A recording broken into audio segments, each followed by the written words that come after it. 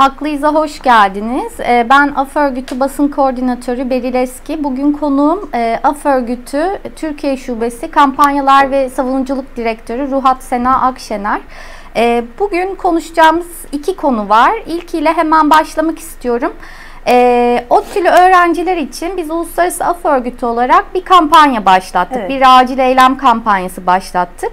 E, ve bu dört öğrencinin, tutuklu öğrencinin bir an önce serbest bırakılmasını talep ettik. Evet. E, ifade özgürlüklerinin e, kullandıklarını ve buna yönelik hani e, tutuklamanın sona ermesini talep ettik. Sen biraz bu olayın arka perdesini anlatır mısın? Ya e, aslında şeyi söyleyerek başlayacağım ben. E, Türkiye'de tutuklu öğrencilerin e, sayısının çok çok ciddi miktarlara çıktığını biz biliyoruz son dönemde.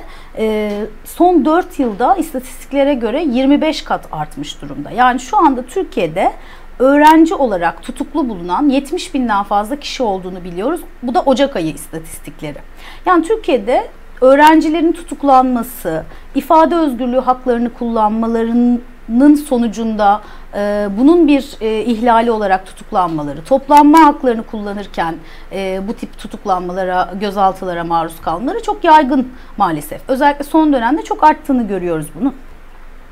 ODTÜ'deki olay 6 Temmuz'da mezuniyet töreni sırasında ODTÜ'de geleneksel bir şekilde mezuniyet töreninde çeşitli bölümler kendileriyle ilgili aslında hani eleştirel, esprili, iğneleyici, hiciv tarafı olan pankartlar ve sloganlar taşırlar. Bu bir gelenek halindedir. Ee, yine bu e, şey sırasında, tören sırasında dört tane ODTÜ'lü öğrencinin bir karikatür taşıdığını biz gördük. Bu karikatürde e, belli hayvanlar resmedilmişti ve bu karikatür daha önce Penguen dergisinde yayınlanmış olan bir karikatürdü. E, Cumhurbaşkanının e, yüzü olan hayvanlar ve üstünde Tayyipler Alemi yazan bir karikatürdü bu. E, Cumhurbaşkanının e, yetkilerinin hani çok güçlü olduğuna dair atıf yapan bir e, ve hiciv yapan bir karikatürdü. Sadece bu karikatürü taşıdıkları için pankart olarak bu dört öğrenci günlerce önce gözaltında kaldılar ve ondan sonra tutuklandılar. Şu anda cezaevinde tutuklu olarak yargılanmayı bekliyorlar. E, durum bu. E, yargılandıkları madde biraz sonra daha detaylı olarak konuşacağımız ve yıllardır aslında biz hem af örgütü olarak hem de yerel ve uluslararası insan hakları kurumlarının oldukça eleştirel biçimde yaklaştığı TCK'nın 299. maddesi yani Cumhurbaşkanı'na hakaret diye bilinen genel adıyla madde. Bunun üzerinden bir tutuklanma söz konusu oldu. Eğer öğrenciler bu tutuklu yargılama sonucunda cezaya çarptırılırlarsa bu madde üzerinden 1 ile 4 yıl arası cezaevinde kalma ihtimalleri var. Ee, yani bu Sen, şekilde. Senin de söylediğin gibi 2005 yılında aslında Penguen dergisi evet. e, bu karikatürü kapak olarak e, evet. basmıştı. Evet. Peki e, söylediğin gibi Cumhurbaşkanını hicveden ve eleştiren bir e, karikatür bu evet. pankarttaki. Bu karikatür ifade özgürlüğü kapsamında mıdır? Ya bu çok net aslında çok net biçimde ifade özgürlüğü kapsamında. Çünkü bunun hani sadece aslında bir e, çok böyle hani üstten bir bakışla değil bu aslında yasal normlarla ya da daha doğrusu önceki içtihatlarla da söyleyebileceğimiz ve temellendirebileceğimiz bir şey. Bunun ifade özgürlüğü kapsamında sayılacağı. Senin söylediğin gibi bu karikatür aslında Penguen dergisinin kapağında bundan 13 yıl önce ifade özgürlüğü e, ihlali aslında bir anlamda olarak e, yargı sürecinden geçmişti ve daha sonra mahkeme bu karikatürün ifade özgürlüğü kapsamında değerlendirilmesine kanaat getirmişti ve konu böyle kapanmıştı bundan 13 yıl önce. E, dolayısıyla çok net biçimde aslında bu bir karikatürü eleştiri anlamında taşımak ve bu karikatürü ifade özgürlüğü kapsamında bu mahkemece de e, tespit edilmiş bir şey aslında. E, şimdi şeyi bu noktada söylemek lazım, söylemeden geçmemek lazım. Aslında e, hem ahim içtihatlarında hem uluslararası normlarda politikacılara, siyasetçilere kim olursa olsun yapılan eleştiriler, getiren eleştiriler son derece şoke edici olabilir. Buna dair Avrupa İnsan Hakları Mahkemesi'nin pek çok içtihadı var ve politikacıların, bürokratların, kamu tarafından geniş kesimlerce bilinen ve karar alma hakkı olan kişilerin normal tırnak içinde vatandaşlardan çok daha fazla eleştiriye açık olması gerektiği, çok daha toleranslı olması gerektiği ve bunun aslında bu eleştiri hakkının e, devlet tarafından korunması gerektiği bütün uluslararası verilen kararlarda, içtihatlarda belirtilmiş durumda. Ama Türkiye'de biz 299. madde üzerinden değil sadece e, ama uygulamada şeyi görüyoruz. Yani e, aslında politikacılar, bürokratlar, karar alıcılar bu haktan kimi zaman nefret söylemine varacak şekilde e, söylemler kullanmalarına rağmen bunun tam tersinden faydalanıyorlar. Yani politikacılar seçim dönemlerinde, olağanüstü dönemlerde veya normal dönemlerde aslında nefret suçuna varacak, nefret söylemine varacak söylemlerde bulunuyorlar ve bunun karşılığında e, hiçbir e, şeyle ne derler e, cezai, yaptırım. cezai yaptırımla karşılaşmıyorlar. Tam tersi biçimde e, kendilerine yapılan eleştiri, e, hiciv, tırnak içerisinde çok ağır eleştiri, hı hı. espri, şoke edici eleştiri vesaire gibi her e, koşulda Türkiye'de maalesef cezai kovuşturmaya, soruşturmaya vesaireye uğruyor ve e, sayının çok çok arttığını görüyoruz. Bu sadece öğrenciler açısından değil, ODTÜ'lü öğrenciler de bunun son örneği oldu diyebiliriz. Aslında bu siyasilerin e, ifade yani kendilerine yönelik eleştirilerde daha esnek olması gerektiği, daha toleranslı olması gerektiği ve eleştirilerin kapsamının daha rahatsız edici, şok edici, ileri gidebilecek boyutta Kesinlikle. olabileceği konusu bizi e, Cumhurbaşkanı'na hakareti düzenleyen madde 299'a getiriyor. Evet. E, ve bizim acil eylemimizde de aslında Türk Ceza Kanunu'ndaki madde 299'un kaldırılması talebi var. Evet. E, sen bunu biraz açıklar mısın? Yani maddeye biz tamamen karşı mıyız ve neden evet. karşıyız? Aslında e, bizim için 299. madde e, ve bu maddenin kaldırılmasının talep edilmesi yeni bir şey değil. Biz yıllardır 5-6 e, yıldır bununla ilgili e, bir kampanya yürütüyoruz. E, çünkü 299. maddeyle ilgili uygulamaya baktığınız zaman şimdi kaldırılmasını talep etmenin bir sürü sebebi var. Ama Türkiye'de de uygulamasına baktığınız zaman son yıllarda müthiş bir artış olduğunu görüyorsun bu uygulamalarda. Yani kişilerin bir devlet tarafından hani üst düzeyde bulunan bir merciye yönelik sadece yaptıkları eleştirilerin tamamının bu torba içerisinde değerlendirildi ve yargısal açıdan uygulamada e, cezai yaptırımla, bazen sadece soruşturmayla, bazen sadece yargısal sürecin başlatılmasıyla ama bir şekilde müthiş sayılarda bir yükselme görüyoruz bunda. Yani bu e, saptama yani Uluslararası Af Örgütü'nün sadece yaptığı saptama değil ama Avrupa Parlamenterler e, Avrupa Konseyi Parlamenterler Meclisi'nin Venedik Komisyonu'nun, Avrupa Konseyi'nin ve az önce söylediğim gibi AHİM'in içtihatlarında da gördüğümüz gibi onların e, vermiş olduğu raporlarda da gördüğümüz gibi aslında bu uygulamanın bir benzeri yok. Hı hı. Yani Türkiye açısından bunun zaten e, sadece Cumhurbaşkanı'na yönelik e, bir suç tanımının yapılması, bir kişiye yönelik bir suç tanımının yapılması zaten çok abes. Bunun bu açıdan kaldırılması lazım. Öte taraftan uygulamanın çok baskı, sadece muhalif seslere yönelik vesaire olduğu saptamasını yapmak da kaldırılması için önemli bir gerekçe bizler açısından. Ee, yani en azından uluslararası standartlara e, bu durumun yasal e, işleyişin çekilebilmesi için 299. maddenin e, tamamen ortadan kaldırılmasını söylüyoruz. E, bu, biz bunu yeni söylemiyoruz. 5-6 yıldır bunu söylüyoruz ama sayılarda tam tersine misli misli bir artış söz konusu. 299. madde açısından. Benim de bir sonraki sor, sorum o olacaktı aslında. Evet. Hani Cumhurbaşkanı'na hakaretten tutuklama ve mahkumiyet çok sık gördüğümüz evet. haberlerde çok sık yer alan Öyle. E, cezalardan Son dönemde biri. sosyal medya üzerinden de özellikle çok çok fazla. Evet. E, Elimizde rakamlar var mı buna dair? Elimizde rakamlar var mı sorusu güzel çünkü e, aslında rakamlara ulaşmak çok da kolay değil. Ee, yani e, bildiğimiz e, birkaç e, rapor var bununla ilgili. E, maalesef hani e, Adalet Bakanlığı pek çok aslında sivil toplum kuruluşu çok ciddi bir ifade özgürlüğü ihlali olarak gördüğü 299. maddeyle ilgili çalışmalar yapıyor. E, ama e, dediğim gibi Adalet Bakanlığı'ndan vesaire bu verilere çok kolay ulaşılamadığı için çok somut rakamlar, verilerde aslında maalesef yok. Ee, olabildiği kadarıyla şeyi söylemek lazım. Elimizde e, geçen yıl yapılan e, hatta e, Kerem Altıparmak ve Yaman Akdeniz tarafından yapılan Türkiye'de can çekişen ifade özgürlüğü diye Pen International'la hazırladıkları bir ifade özgürlüğü raporunda detaylı sayılar var. Oradan belki birkaç saptama şey birkaç veri vermek mümkün. E, şöyle bir şey var örneğin 2000 yılında sadece 4 kovuşturma yapılmış bu suçtan dolayı. 2015 yılına geldiğinizde sayı 2000'e yaklaşıyor. Korkunç bir artış var. E, yine son 6 yıllık dönemde e, yani 2010 ile 2015 yılları arasında 2673 tane yargılama yapılmış. Bunlar korkunç sayılar yani çok yüksek sayılar şuna dayanarak çok yüksek sayılar geçmişe kıyasla. Yani 299. madde çok yeni bir e, madde değil. Her zaman e, vardı. Fakat kıyasladığınızda uygulama açısından baktığınızda çok ciddi artışlar olduğunu görüyorsunuz. Bu da e, bir şeyi ifade ediyor elbette.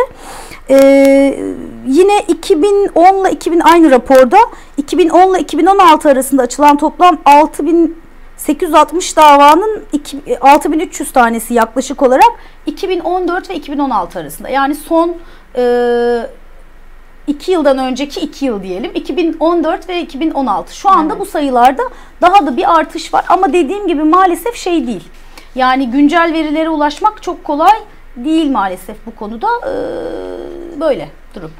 Peki e, o zaman diğer konuya geçmek istiyorum ben aslında. E, biz dün bir açıklama yaptık ve e, hani çeşitli ülkeler e, kendilerine sığınan Afgan e, mültecileri, evet. sığınmacıları Afganistan'ın güvenli ülke artık güvenli ülke olarak değerlendirileceğini söyleyerek Afganistan'a geri gönderiyorlar. Evet, evet. Ee, bizim açıklamamız da aslında şunu diyor. Son dönemde sivil ölümleri inanılmaz derecede arttı. Evet. Ee, çatışmalar inanılmaz derecede şiddetlendi ve Afganistan artık güvenli bir ülke kabul edilemez evet. ve sığınmacıların bu şekilde güvenli bir ülke diyerek geri gönderilmesi meşru olamaz. Kesinlikle. Ee, böyle bir açıklama yaptık. İstersen evet. sen biraz bunu açabilirsen. Yani e, bu güvenli ülke tartışması zaten oldum olası hani e, birçok hem insan hakları kurumları açısından hem bu kararı veren e, örgütlerin e, eleştiriye tabi tutulması açısından çok tartışılan bir şey.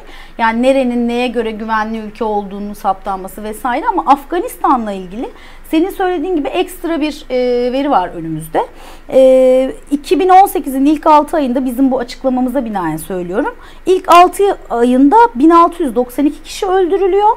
3430 kişi yaralanıyor. Sadece 6 aylık sayılar bunlar bunların yaşandığı bir ülkenin güvenli ülke olarak hani şey yapılması, e, lanse edilmesi ve bu Afgan mültecilerin güvenli ülke varsayılarak buraya gönderilmesi hakikaten her şeyden evvel vicdana sığmayan bir şey bizim açımızdan. Açıklamada da bu var.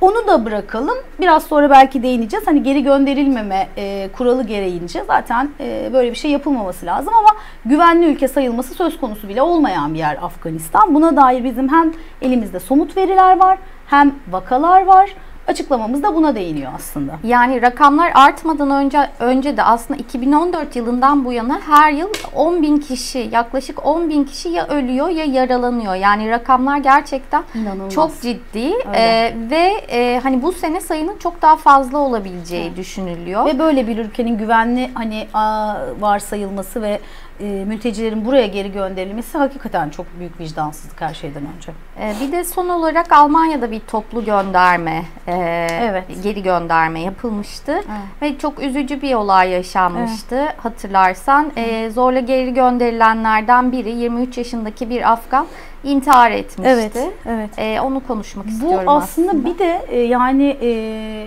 bu 69 Afgan'ın geri gönderilmesi olayı aslında sanki çok hani yasal bir şey yapılıyormuş ya da çok insani bir şey yapılıyormuş gibi bizim e, tespitlerimiz, yani açıklamalarımızda da var bu.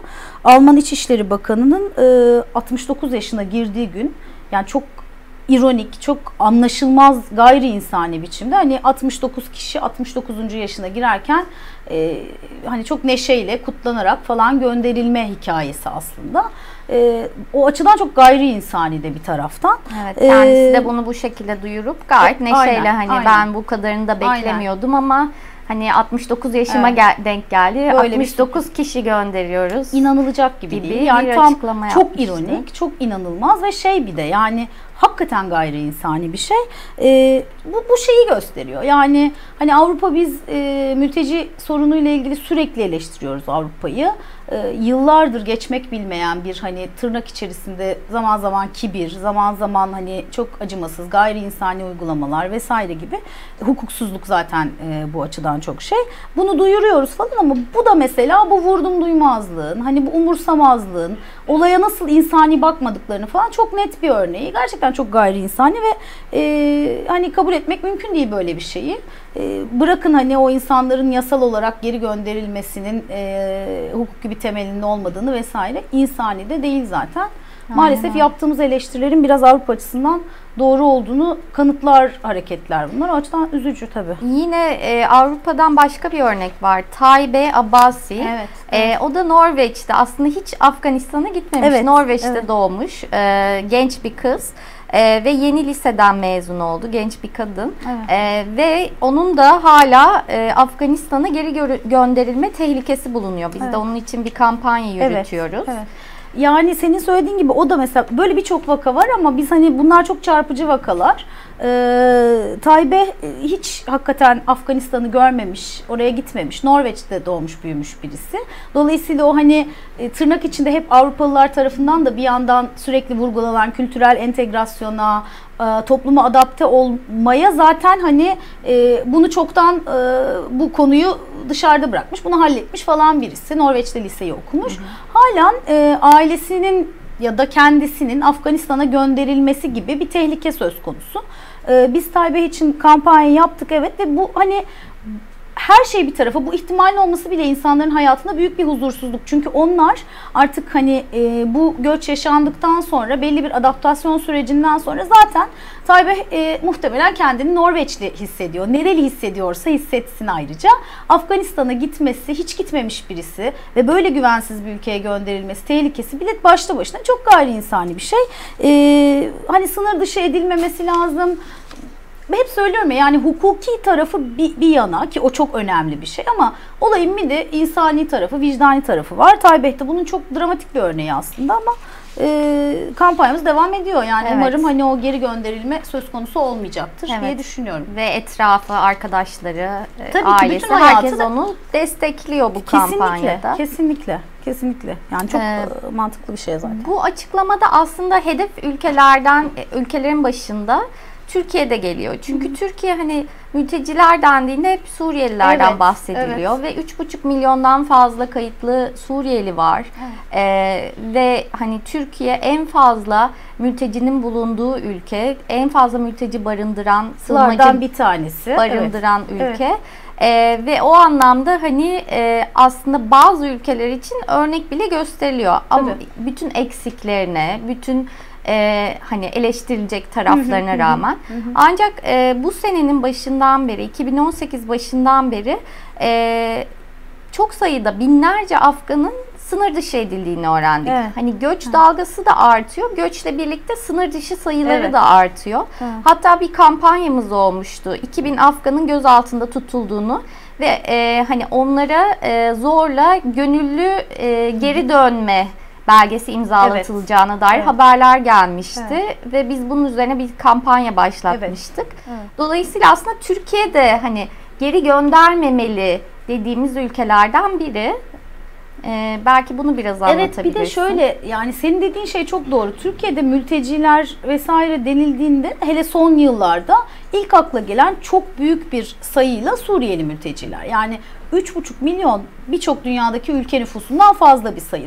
Anlaşılabilir bir şey ama e, Suriye'deki savaş başlamadan önce, çatışmalar başlamadan önce Suriyeli mültecilerin sayısı bu kadar yüksek değilken örneğin Afgan mülteciler Türkiye'deki en e, kalabalık mülteci komünitesiydi.